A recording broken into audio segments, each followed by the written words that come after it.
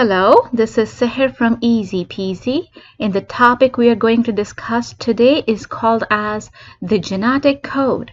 Now the genetic code or genes are present inside DNA in the form of a nucleotide sequence and that sequence is going to produce RNA from it and that RNA is going to produce protein from it. Now DNA is acting like a brain that is giving signal to our body RNA is acting like a postman who is taking message from the brain and giving it to the translation machinery to make that specific protein or enzyme from it. This whole process is called as central dogma. Now DNA, RNA and protein, they all are polymers and they're made up of monomers. DNA and RNA are made up of monomer called as nucleotide and protein is made up of monomer called as amino acids. Now for DNA and RNA, we have four different types of nucleotide. So in case of DNA, we will have cytosine, adenine, guanine, and thymine. And in RNA, this thymine will be replaced with uracil. For amino acids, we have 20 different types of amino acids. Now the question is, how do four type of nucleotides code for 20 amino acids? If we imagine that two nucleotide code for one amino acid, then let's see how many codes are generated with two nucleotide. So in this table, I'm taking the four different types of nucleotide on left hand side and four different types of nucleotide on the upper hand. And we'll make all the possible codes for 20 amino acids. Now let's make all the possible codes with these two nucleotides and see how many nucleotides are going to get generated. So in this case, we generated 16 different types of code and that is not enough for 20 amino acids. It means that the genetic code is made up of three different types of nucleotide sequence and this nucleotide sequence will produce a particular amino acid from it. Now let's see how many possible codes can be generated if we are taking three different types of nucleotide. So in this case, as you can see, I took four different types of nucleotides on left hand side, four different type of nucleotides on the upper hand, and four different type of nucleotides on my right hand side.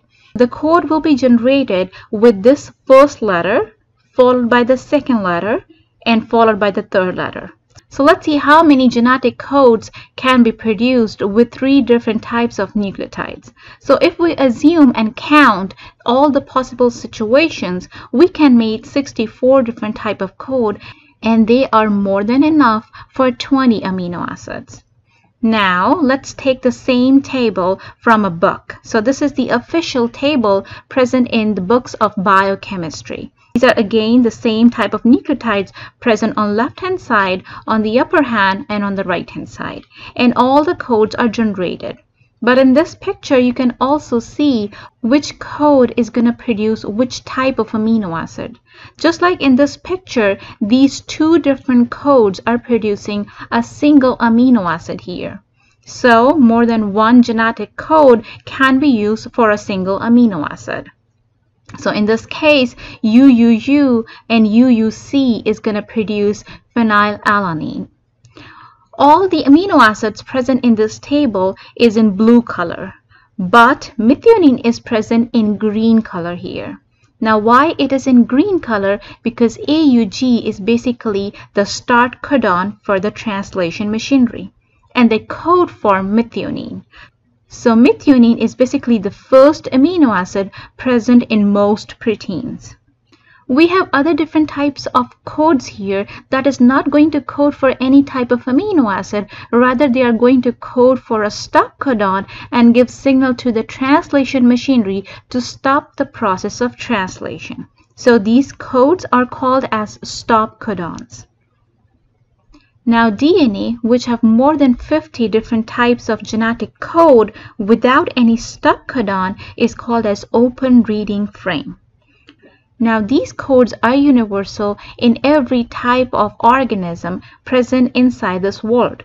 There are some kind of exceptions, and these exceptions include mitochondria, some bacteria, and some single-cell eukaryotic organisms. But other than that, these codes are common in every living organism present inside this world. Now this genetic code is so constant and without any commas so if something happened to only one nucleotide present inside the DNA, it will reverse or change the whole codon situation and will make a different type of protein. This can be so lethal that it can order the cell to go in the process of apoptosis or it can cause different type of mutations inside the body. Now, in a single day, thousands of proteins are translated in our body in the form of our blood cells or in the form of our hair or nails every day. But we don't face these type of mutations all the time. So we need to be thankful on our creation and on our creator. Bless you. Thank you for watching. Bye-bye.